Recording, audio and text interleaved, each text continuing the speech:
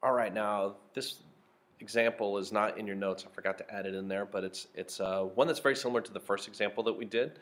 Um, so I thought this would be a good kind of review of linearization, just more practice so that you can see some different problems.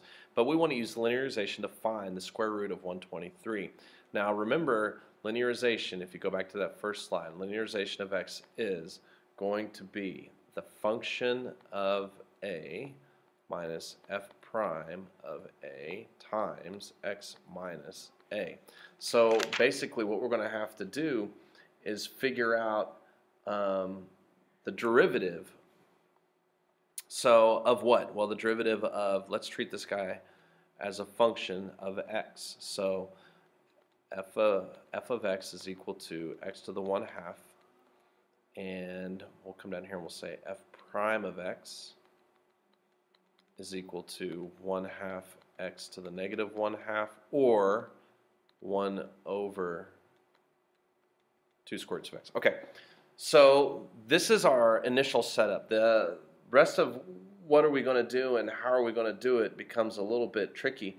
So what we've got is um, a situation where we've got x equal to 123. Well, I I know I don't know the square root of 123. I don't know. Okay, this is what we're trying to find out. But a square root that's really close to that is 121. So what if I let x equal 121? That's pretty close to 123, you know, in the grand scheme of things. And so the square root of that is 11 and and if I do that again, um, I could have the uh, let's see.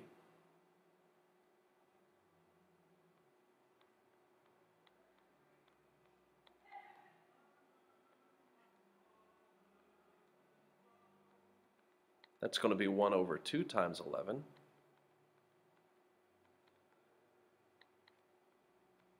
So I've got I've got kind of these two parts, but how far then do I have to go to get to um, 123? And and that would be I'm going two spots. So if my A is is 121, holy smokes, where'd my stuff go? There we go. So what I'm going to do is I'm just going to follow this right here, and I'm going to have 11 minus f prime of a, which is 1 over 22, times x minus a. What is x? x is 123 minus a, which is 121.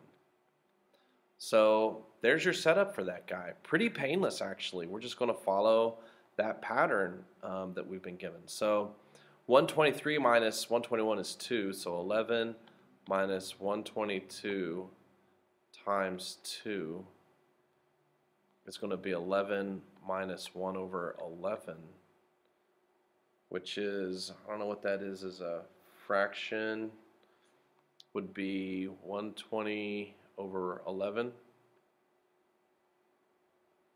Is that right? And then 120 over 11, since we're trying to determine um, the square root of 123, we'd do 120 divided by 11. And I get 10.909.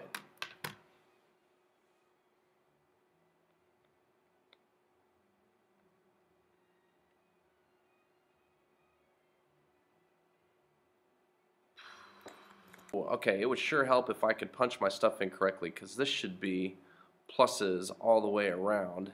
Yikes. So when you add all this up, it's going to work out perfect.